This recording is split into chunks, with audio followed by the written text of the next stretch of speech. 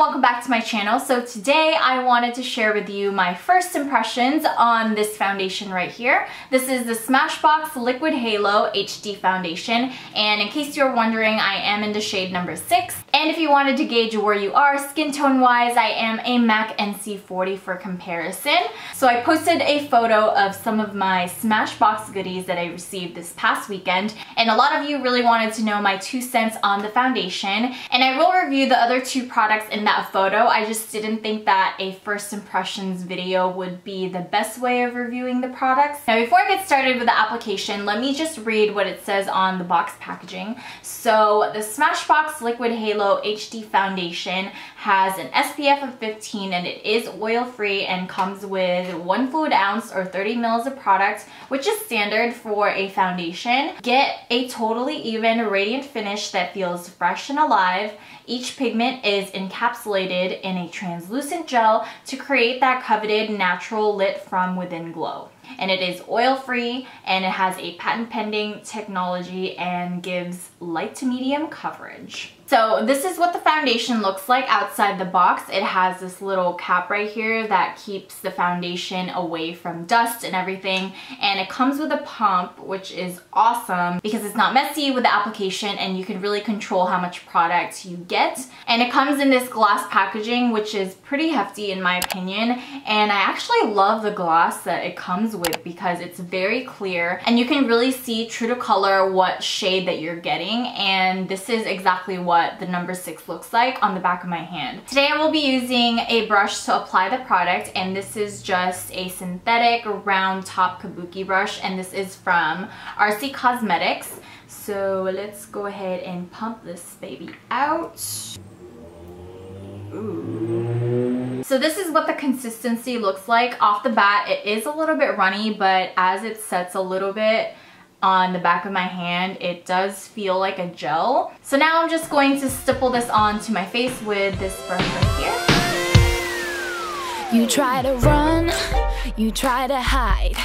It's just a game of I'll be Jekyll and you be Hyde. I'm here and I gotta find out if this is real if this is something that I can feel. About looking at the mirror right here, I can see that it is more of a light than a medium coverage foundation just because I can still see like some of my blemishes peeping through. I have a breakout right here and I can see it pretty visibly right here. And then um, also right here on my cheek area and also I have some scarring right here and I can still see it. And I can also see that the foundation shade is just a tad lighter than the rest of my body. And that's because I've been self tanning but anyways I wanted to try number seven but that one was way too dark for my skin tone. And so if you're trying to find the right shade for you and sometimes you're in between shades the best solutions that I have for you is to buy two foundations that you think you can mix together. But if you do have the budget budget for just one foundation, I suggest that you pick the lighter shade of foundation just because you can easily fix that with a bronzer or even a darker powder. But with a darker shade, it's a little bit harder to make it lighter. So just by looking at the finish of the foundation and how it feels on the face,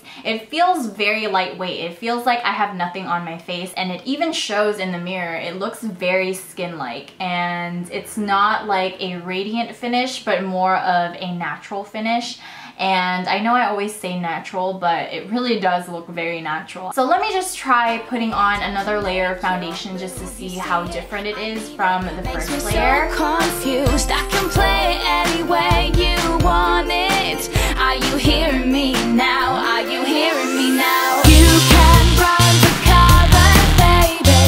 You can okay, so I just put another layer of foundation on my face I can see that it's covered my blemishes already. I don't see any redness anymore, but I can still see it peeping through. So I think the most that you can get out of this is probably a medium coverage. And then on this side, yeah, I can still see some of the blemishes peeping through. And what I decided to do was kind of dab on the foundation right on top of my blemishes just to see if it could work as a concealer and, and just blend it out by stippling the brush around it. And it definitely works. The redness is gone, but I can see that it's really accentuating my blemishes because I have acne right now and I'm trying to treat it so it's a little bit dry around that area. And when I look up close in the mirror, I can definitely see that you can see like the patchiness just a little bit. But I'll definitely check in with you later in terms of the dryness around this area. But in terms of finish, like I said earlier, it's very natural and skin-like and very velvety, but it's not radiant or dewy at all upon first application anyway. Let me just finish the rest of my makeup and I'll be right back. So I just finished putting the rest of my makeup on. I tried really hard not to set my face with any kind of powder. I did put a little bit of blush on top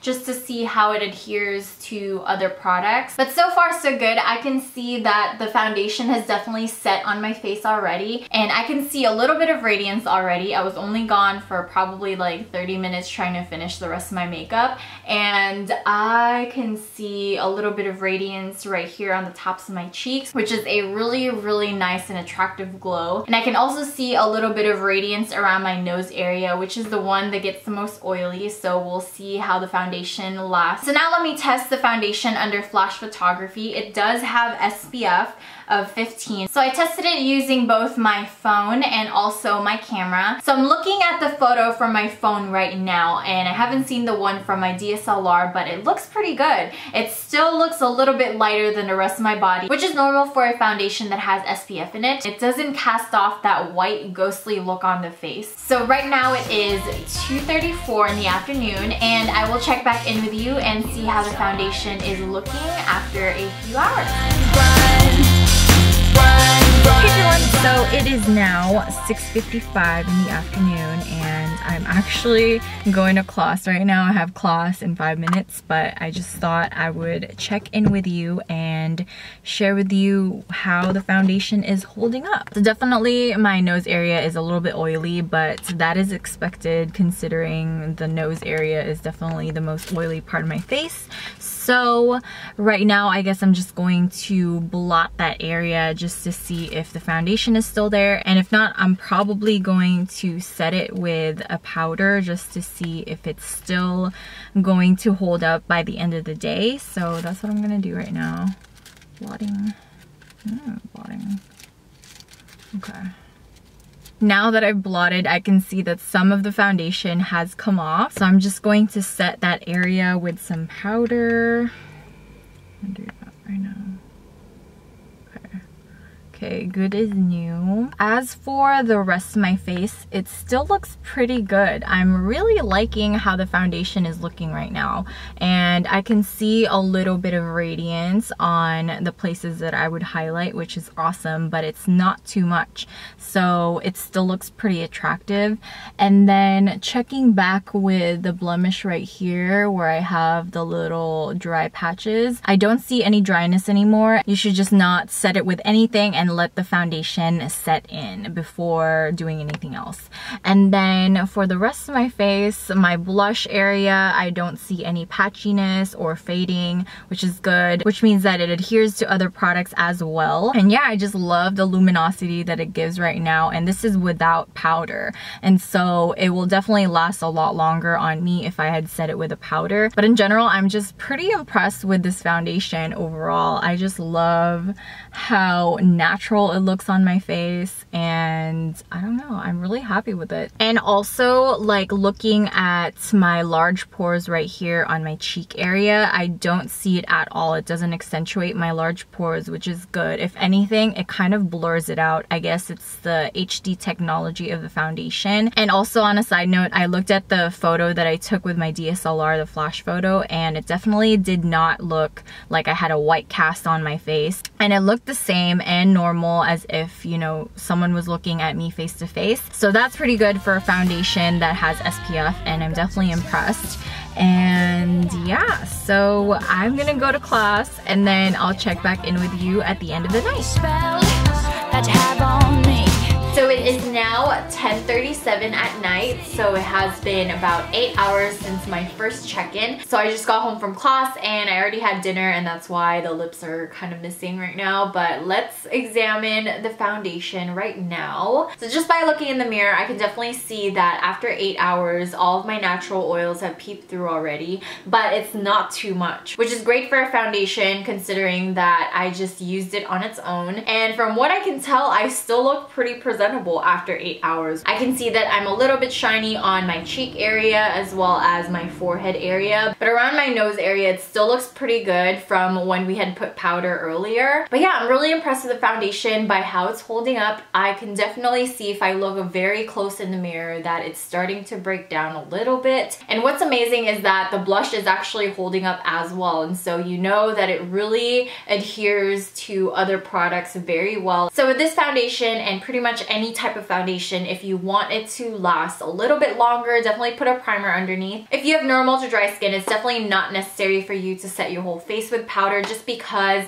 I felt like when I was observing it earlier and then I'm observing it now, it still looks pretty similar. And I love the fact that the radiance in the skin really stayed constant throughout the day. And I really love that claim of them having a natural lit from within glow because it's pretty true. Because I can definitely see that it's pretty glowy on the places where I want it to be glowy. But if you have combination or oily skin, definitely use a primer beforehand and then set it with a powder to make it last a little bit longer. But yeah, that's pretty much it. I am definitely loving this foundation right now and I'm loving how flawless it looks. I literally cannot not stop looking at my face right now just because I'm pretty impressed by how it performed throughout the day just by itself. Let me know in the comments below if you've tried this foundation and if you liked it, disliked it, hated it, loved it, whatever it is that you thought about this foundation, leave them down below. I would love to see your input and I'm sure a lot of people would love to see other opinions as well. If you have any more first impressions or reviews or demonstrations that you would like me to do on my channel,